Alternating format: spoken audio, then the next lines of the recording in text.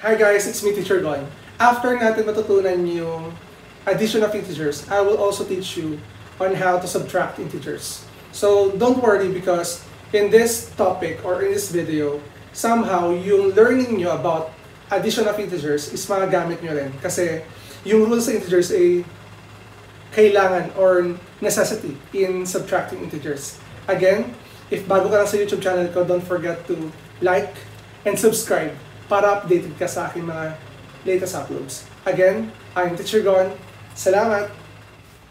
Hi guys, it's me Teacher Gon. In our today's video, we will do subtracting integers. I hope na before natin puntahan itong topic na to, ay napanood nyo na yung topic natin or yung video tutorial natin about adding integers.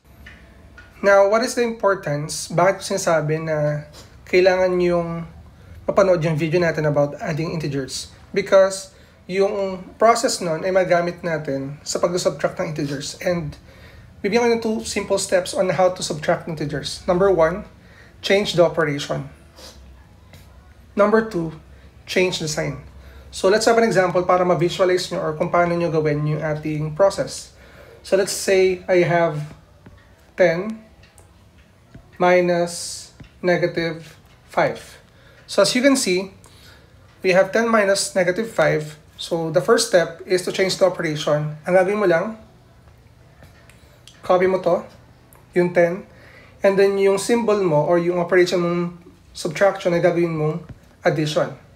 That is the first step. And then second step, change the sign of your subtrahend. Yung negative 5 natin, since that is negative, gawin mo siyang positive. So, magiging 5 na lang siya, positive 5. And then kung mapansin nyo, you have 10 plus 5, and the answer there is 15. Tama po ba? Okay. Now, mag-try naman tayo ng isa pang example. Let's erase this one. Okay. Let's say I have negative 9 minus negative 7. So, let's start with this. You have negative 9. Copy mo yung first na meron ka. You have copy 9. And then sabi sa first step natin, you need to change the operation. If that is subtraction, gawin mo siyang addition. Tapos, yung sign naman ng iyong subtrahend, kung siya ay negative, gagawin mo siyang positive. So that will be negative 9 plus positive 7 or 7. And then, kung mapansin nyo, addition na siya. Saan na tayo papasok ngayon sa process natin kung paano mag-add ng integers? Remember, kailangan mong kunin yung absolute value, which is 9, and then plus absolute value rin ito, which is 7, tapos, kung mapansin nyo, you have 9 plus 7, that will give you 16. Ngayon, may 16 ka ngayon. Paano ka ngayon magde-decide kung ano yung sign ng iyong final answer? Puntahan mo ngayon yung number na may pinakamalaking absolute value, which is 9 or negative 9. So, copy the sign of negative 9 and that is negative. So, that will become negative 16. So let me give you another example para mas lalo niyo matutunan na how to do it. Okay? So let's try having negative 25 minus 16. Okay? So copy the first number or your minuend, that will give you negative 25. Wala tayong babaguhin ha sa minuend. And then, this operation, gagawin mo siyang addition.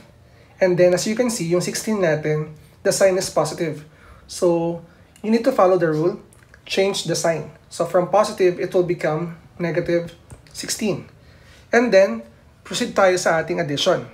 Kunin mo yung absolute value, which is 25, and the absolute value ng 6, negative 16 is 16, then add them.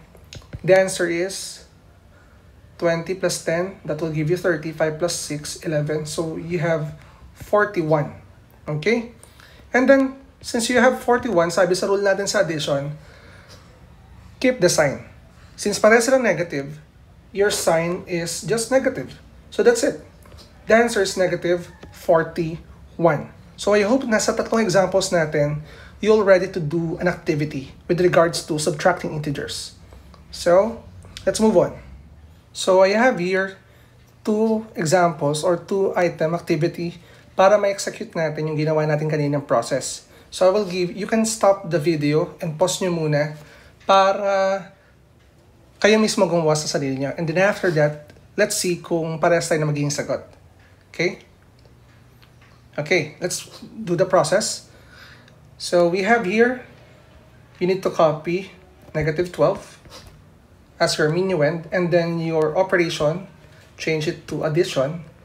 At yung sign ng iyong negative 11, babaguhin mo syempre, become positive 11 or 11. Then proceed to addition. So dito, kopyahin mo yung kanyang Ah, sorry. Ah, kunin mo yung kanyang kunin mo yung kanyang absolute value that is 12 and then yung absolute value ng 11 which is 11 tapos i-add mo sila. That will give you thir ah, sorry. That is 23. So meron ka ngayon 23. Isipin mo ngayon paano mo ngayon yung paano ngayon yung sign niya. Puntahan mo yung number na may mas mataas na absolute value and then look at the sign of that number which is negative. So, the sign of 23 is negative. The answer in number 1 is negative 23. Now, let's move on to item number 12. You have negative 14 minus 8. Copy your minuend. Negative 14. Change this operation to addition. And then, since ay positive, it will become negative. Get the absolute value. That is 14 the absolute value of this one is 8 and then add them that will give you 22 so paano ngayon ang sign? As you can see pareha silang negative. Therefore the sign of your final answer is negative 22 so that's it. And then as you go, as you go along with the operations on integers addition and subtracting subtracting integers makita nyo na may mas madaling way. Itong pinapakita ko ngayon sa ating video is yung step-by-step process on how to do subtracting integers para mas master nyo yung mismong konsepto. So again, sana nakatulong ako sa inyong pag-master ng subtracting integers. At kung bago ka lang sa channel ko, don't forget to like this video and subscribe ka na rin para updated ka sa ating future uploads. Again, I am Teacher Gon. Maraming salamat!